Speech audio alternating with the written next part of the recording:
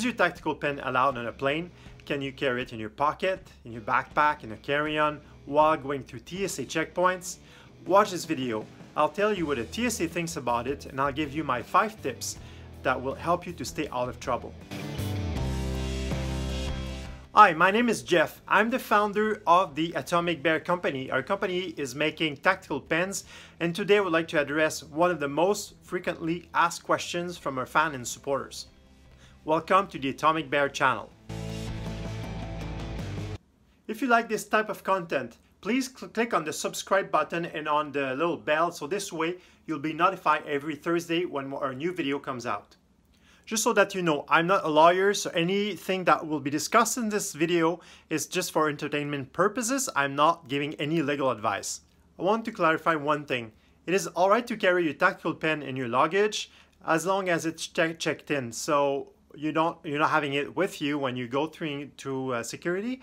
This way there's like you won't have any issue. That's the best way to carry a knife, a tactical pen, or anything that is actually allowed on your checked-in luggage.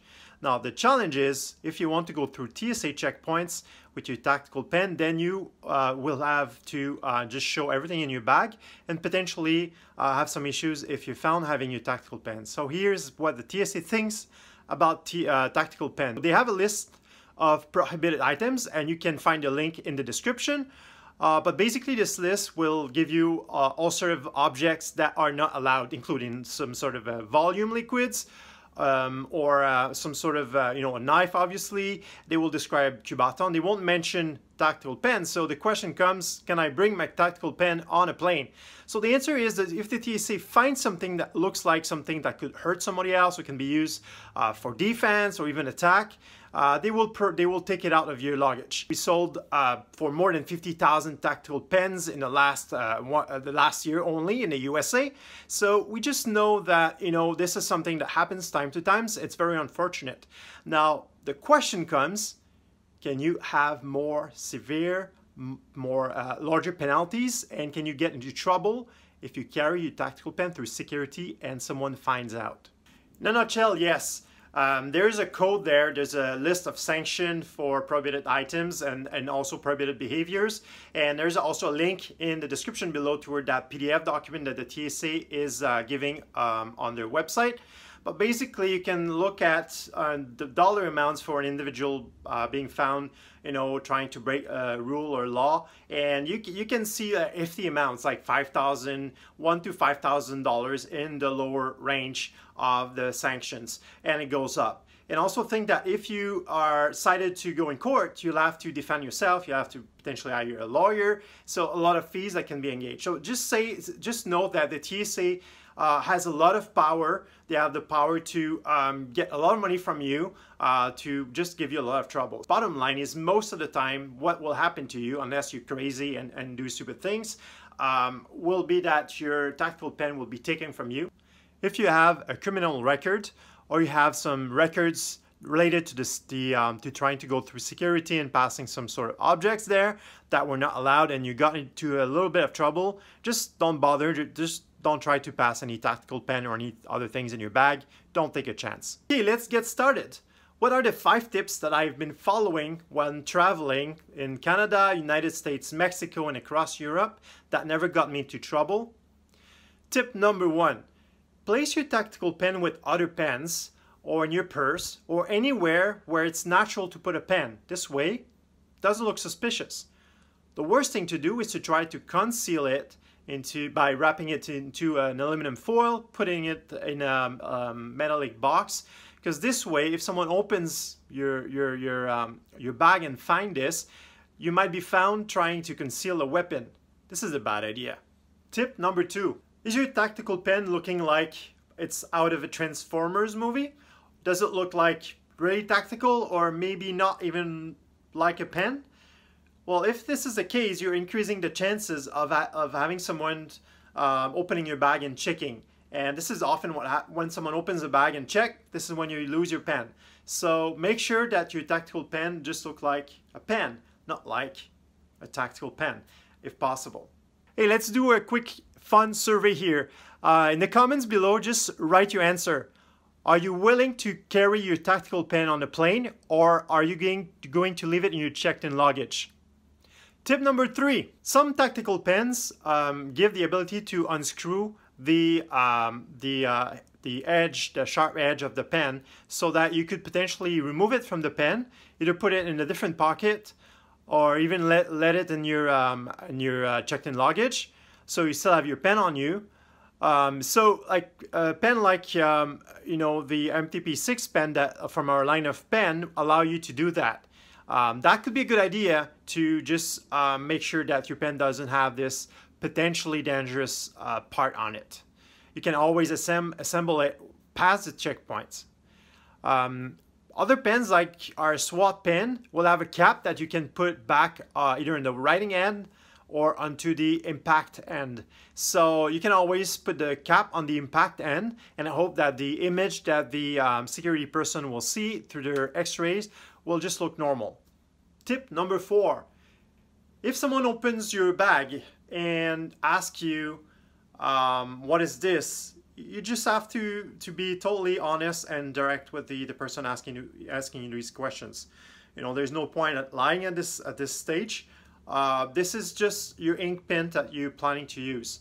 Um, the next question could be, is this a tactical pen or is where is this um, part of the pen like sharp or is, could it be used for uh, to defend yourself or anything? You just say, yes, this is my tactical pen. And uh, depending on who's asking you the question, who is, who is examining your bag, some will let you go with it. Some other people will uh, just confiscate it and um, uh, let you go without it, which is pretty unfortunate. But you know, so just be honest, be direct with the um, the security agent when he asks you the questions. And if they get a bit upset about you carrying this pen, um, you can always play dumb, play dumb because, um, like, honestly, we all forget stuff in our bag, and I've been guilty of uh, forgetting a knife in my bag and felt very bad about it because I ended up losing my my, my knife. Uh, which is fair because you know uh, going through security you don't want to have anybody uh, carrying knives with them which I totally respect. But you know your tactical pen can be uh, eventually uh, be confiscated. So let it go. Um, you know that's um, part of the game. Tip number five. The worst thing that you can do is being be, being be resisting or being um, you know insulting the agent or like just getting moody and upset and just uh, when this happened. Um, because this is when people get into real trouble. So you don't you you want to be sad about your pen going if it has to.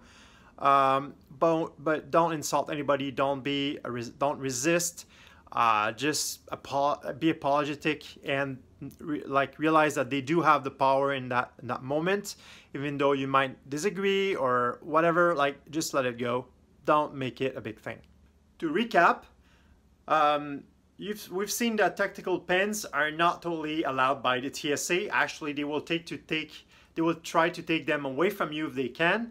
Um, the good thing is that this is still just a pen, so you have a good chance to be able to go through security with your pen. And we both know that this is not something that will be dangerous, uh, uh, immensely dangerous um, um, for a massive attack. You know, it's not a knife, it's not a gun, it's nothing like that uh, but it can still be used for self-defense. So um, just be realistic that there's a chance. It never happened to me though, although I travel a lot. Uh, just being conscious of where I put the pen and how I, I, behave with it was enough. And also the choice of pen I, I make when I travel is also a big factor in not get, getting found or getting having the, the, the pen found out and taken away from me. So um, you know that the TSA doesn't want it. Uh, you know what to do to um, make sure that you minimize the, the risk of it being found and also you know how to react if it happens. So with this, I would like to uh, thank you for watching and one thing I want to say is that I want to give you a chance to win one of our uh, best tactical pen. Uh, this is the Rebel pen.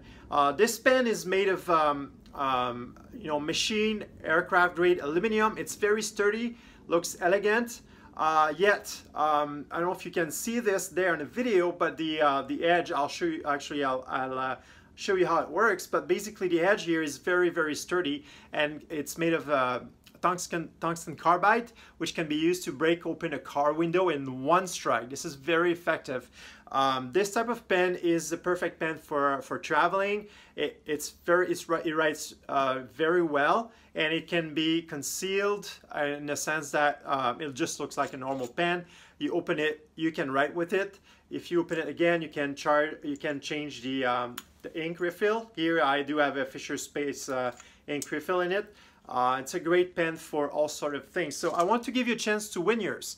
Um, if you want to win your tactical pen, just follow the instructions below. I'll give you a link and uh, this way you have a good chance to win because who actually participate in those uh, in those uh, giveaways. So I wish you um, uh, to be safe. I want to thank you for watching this and hopefully this helped you a lot. If it did, please click on um, subscribe and click on helpful and um, you can also hit the, the, the, button, the bell button as well, so you can be notified if you like this type of content. And at the Atomic Bear, we're very proud of what we're doing, of our mission. Uh, we're equipping people, uh, men and women, and even children to be uh, better prepared, to have better gear. Uh, our gear is affordable, and we're so proud of this mission. So if you like us, you like this video, and you like the whole thing, do not hesitate to subscribe, click helpful, comments below. We love it. Until the next time, I want to say be safe, take care, and prepare to survive.